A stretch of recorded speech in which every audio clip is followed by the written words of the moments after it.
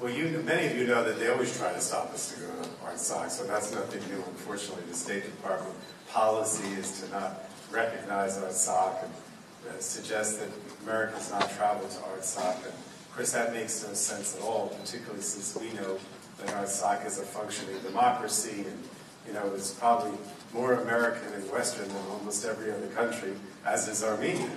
Um, but in any case, we continue to get that from the State Department. It's one of the things that we have, we have to constantly push back against. But I just, I, I, just wanted to say just a few things. First of all, thank you all for being here. Uh, you know, it's uh, a new session of Congress.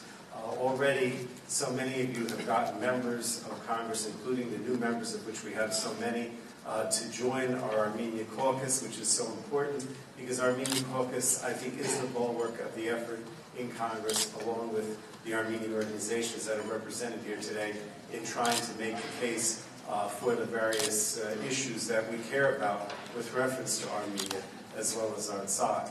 And I know that today is in particular the commemoration of the, of the genocide, which, you know, the official commemoration is on April 24th.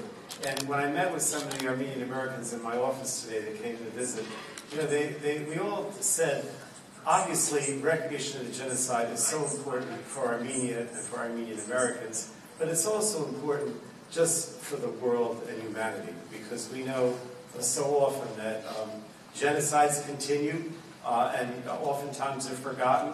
And the purpose of the perpetrators is to make sure that nobody knows and nobody remembers.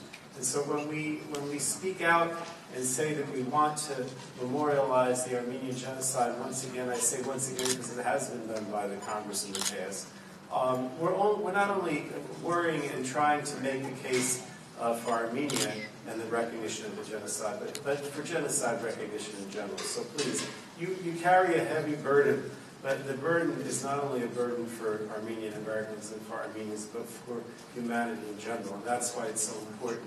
And that's why we do have to pass the genocide uh, resolution, uh, and we're going to continue to work for that.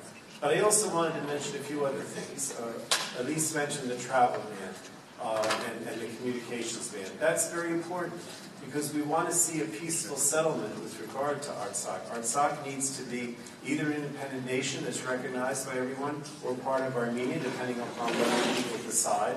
Um, and that will only be achieved if we have a level of recognition. And cutting off communications and travel doesn't make any sense in that context. It's not the type of thing that Americans and those who share uh, American values would want. So we're going to continue to pursue that as well. But the other thing I wanted to mention, because it's so important right now, is the Velvet Revolution. What we do in our caucus, and I see many of our, my colleagues here that are going to speak tonight, we're trying very hard to make our colleagues, and as much as possible American foreign policy, recognize what happened here in this Velvet Revolution and how important it is. You know, this is a country, as you know, that was a former Soviet republic. So many of those of, of the former Soviet republics have fallen back into dictatorship. Some of them had were moving towards democracy and then moved back. Also, countries that were part of the uh, in Eastern Europe that were under the Soviet uh, Soviet authorities. And the opposite is happening in Armenia. Here, as other countries have become more totalitarian and moved away from democratic and market economies, here is Armenia moving in the opposite direction towards more democracy, more transparency, more of a market economy.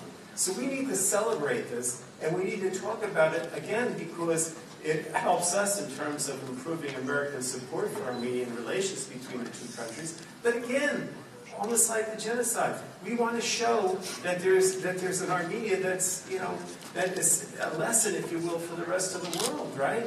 We would like the other countries that were part of the Soviet bloc uh, or part of the Soviet Union to be democracy.